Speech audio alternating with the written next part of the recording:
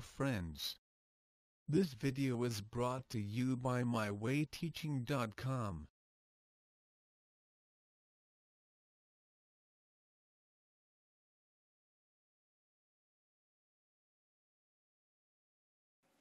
The prime factorization method and repeated subtraction method can become very lengthy and difficult to handle when it comes to large numbers. So we here introduce you to division method of finding square root.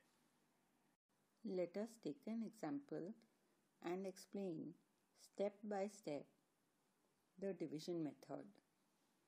Let us take a number 529. Our first step is to place a bar over every pair of digits starting from the ones place. So, we make a pair and we have 5 that is single digit in the second bar. Next step is to find the largest number whose square is less than or equal to the number under the extreme left bar. We have 5 under the extreme left bar. So we have to find the number whose square is less than or equal to 5. So let us check we know that 1 square is 1, 2 square is 4 and 3 square is 9. So the required number is 2.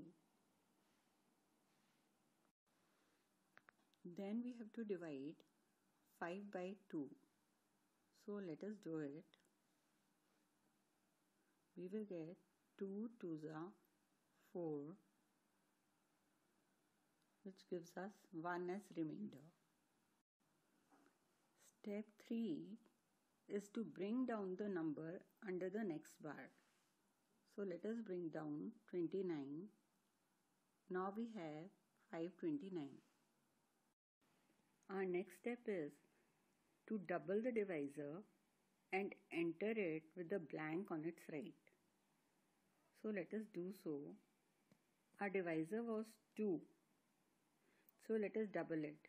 It will be 2 into 2, 4. We enter 4 with the blank on its right. Step 5 is that we have to guess the largest possible number to fill the blank, this blank, such that when the new divisor is multiplied to that number, the product is less than or equal to the dividend. Dividend is 129. So let us try to fill the blank.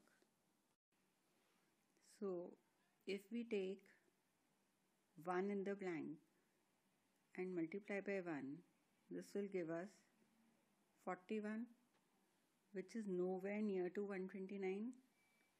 So let us take 2 in the blank and multiply by 2 this will be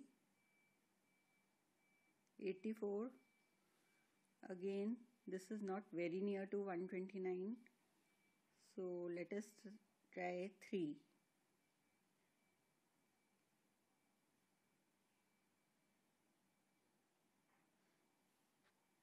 we get 129 so the required number is 3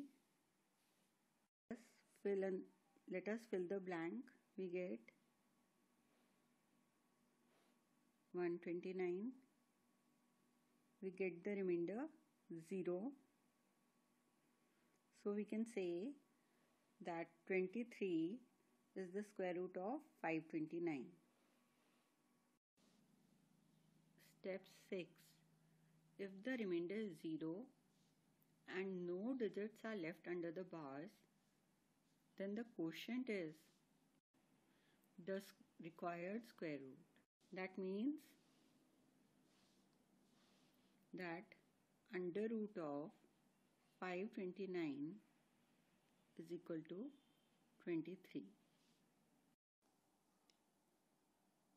Step 7 if more numbers are under the bars, then bring down the next bar, double the quotient and enter it with a blank on the right as the next divisor.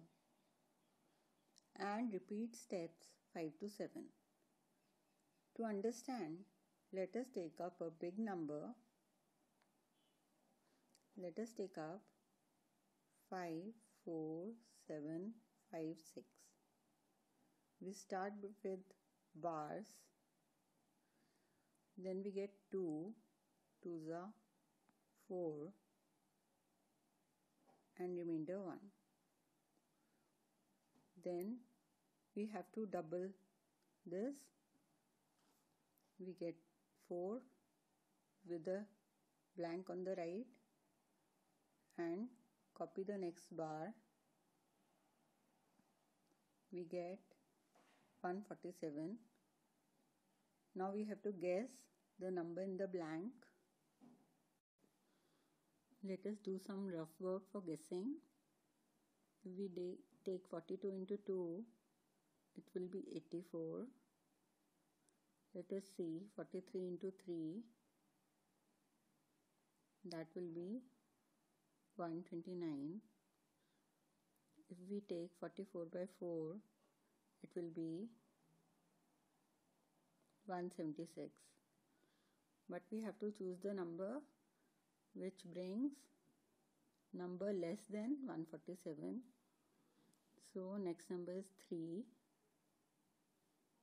we get 129 let us subtract. We get 18 so we are left with a number now and more numbers are there in the bar. So let us bring out bring down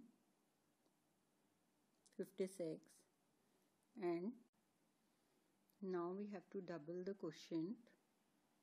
It becomes 46 with the blank on the right. Now we have to repeat step 5. So let us try and guess a number. If we try it with 3, we are getting 1389. And on trying with 4, we get the same number. So let us put 4 and divide. We get 1856 and on subtracting we get remainder 0 that implies that under root of 54756 is equal to 234